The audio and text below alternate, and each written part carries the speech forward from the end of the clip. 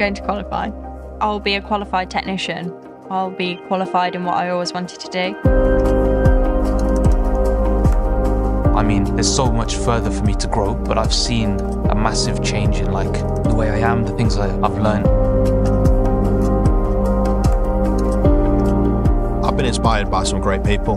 You know, there's some really inspirational people in JLR.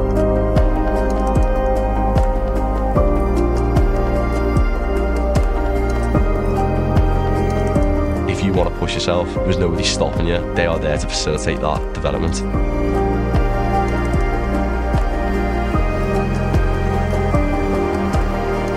The most inspiring characteristic about someone is when they are themselves. I have a world of possibilities here. That's the good thing about JLR, and that's what I'm excited about.